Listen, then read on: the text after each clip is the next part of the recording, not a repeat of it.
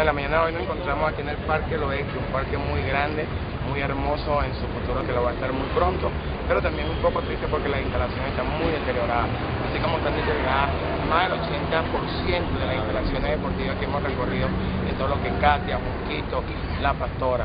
Nosotros como venezolanos le tenemos que decir a toda Venezuela que somos el país en Latinoamérica, es una ciudad tan importante con menos metros cuadrados en eh, instalaciones deportivas.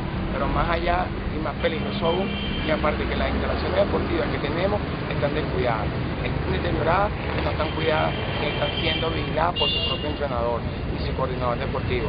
Entonces nosotros le hemos llamado desde aquí, este gran hermoso parque, que hace 10 años pasó a la desidia, ya que después que tumbaron la cárcel para su ampliación, pues esa ampliación nunca llegó. Estamos esperando que en los próximos años la Asamblea Nacional le pueda decir a todos los venezolanos y a todos los caraqueños que el presupuesto que sea aprobado para este gran parque se tiene que llevar a cabo. Y se tiene que llevar a cabo porque lo vamos a supervisar. Se tiene que llevar a cabo porque así la ciudad de Caracas lo pide. Se tiene que llevar a cabo porque sería una de las herramientas más importantes para bajar el índice delictivo que tiene este país. Si la gente está pidiendo paz, si la gente está pidiendo justicia, el deporte es una de las herramientas más básicas que los venezolanos tenemos pronto a la puerta de la casa para bajar lo que nosotros estamos pidiendo. Y nosotros desde aquí queremos hacer huella.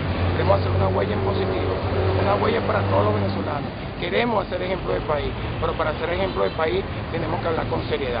Para hacer huella en este país tenemos que ser justos y equitativos y saber que tienen que llegar los recursos donde tienen que llegar, a la población que lo requiere, a la población que lo necesita y a la población que le va a decir a toda Venezuela en la huella que queremos construir para bajar el índice delictivo y traer la paz a todos los venezolanos.